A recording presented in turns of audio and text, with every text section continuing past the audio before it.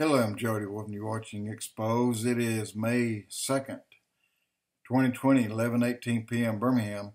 In topic, I finished up with the last one and saying that if you don't think all this is coming to pass um, right now, then you're lost. Well, I may should not have said you're lost, but you're not really on top of things because if you don't see the ser- seriousness of where we are today and what's happening, what's going on, you are lost. I mean, you're lost somewhere here.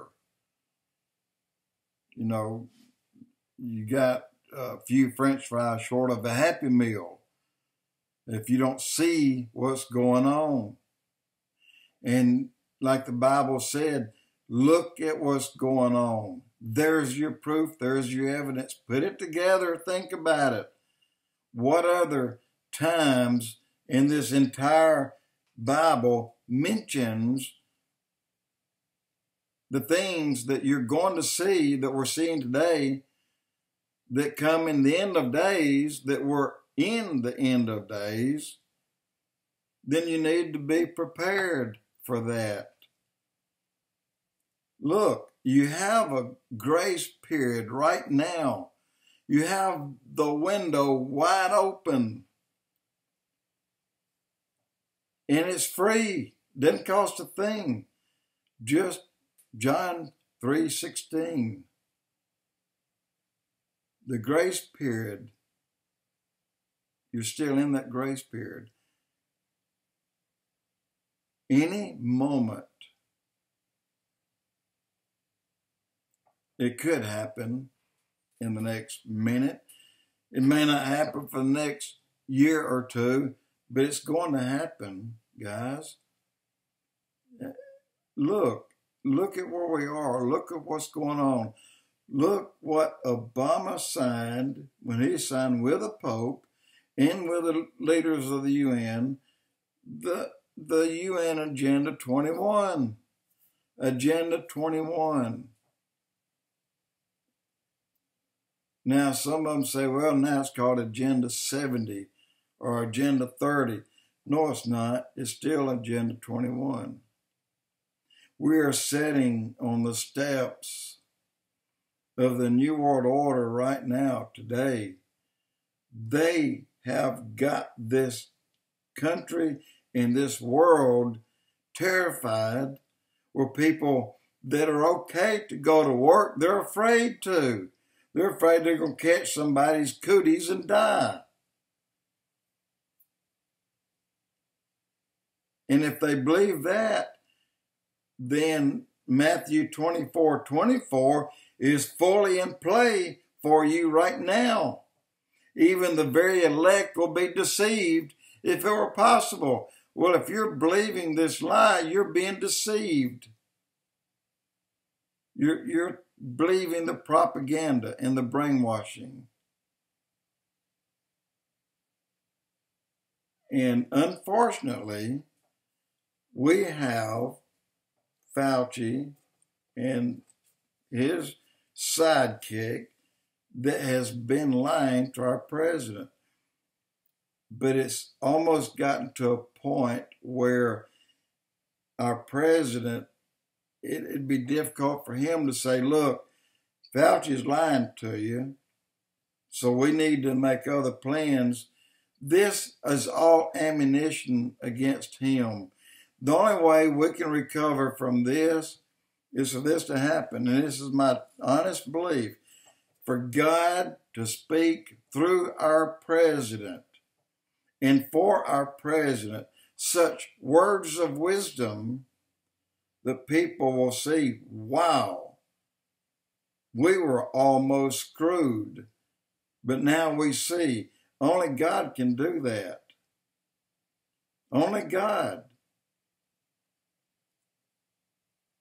So we have either God is going to hear our prayers of the church, calling Him day and night until we get an answer and how are we going to do that if we're not even there at church to pray at the house of God. When they even tell you if you go to church, we're going to put you in jail. It's okay for Pelosi to go to Chinatown and rub elbows with every monkey on the street. But it's not okay for you to go to church and praise your God.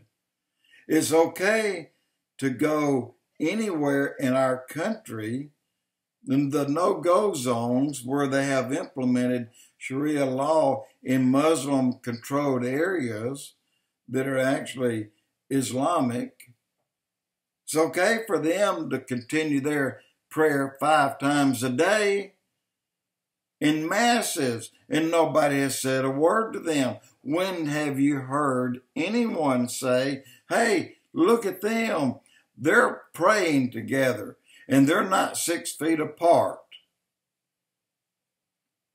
But yet, let the church, the true church, they're praying to, to the ground they're, they're praying to nothing. We pray to our God Almighty. Well, the good thing is